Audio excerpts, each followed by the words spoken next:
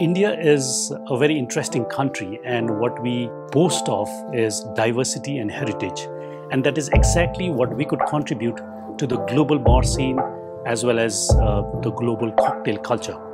When we got to know that Sidecar is the joint Nikka Highest Climber Award this year, the whole team was on cloud nine. Hi, I'm Yangdup Lama, and I'm the co founder at Sidecar India. When we heard that Sidecar is the joint Nikka highest climber this year, we were over the moon. And I think we're not coming back anytime soon. Sidecar is a bar of the 1930s, very old school, with a lot of warmth around it, and it is a bartender's bar.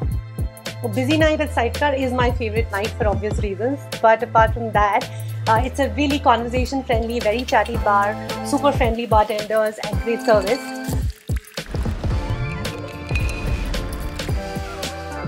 You know, in this part of the world, especially in India, we are deprived of uh, a lot of liqueurs and liquor that is available across the globe. So the challenge is to create your own own flavors. And what we've done right from day one at Sidecar is to, to create a lot of our own liqueurs.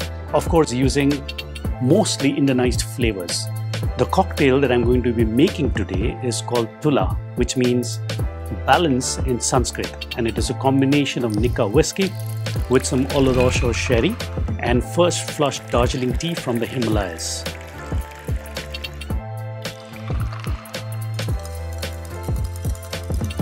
While we work very hard, very dedicatedly behind the bars, I feel it's also very important to be able to achieve happiness. And the best way to do that is through the practice of mindful bartending.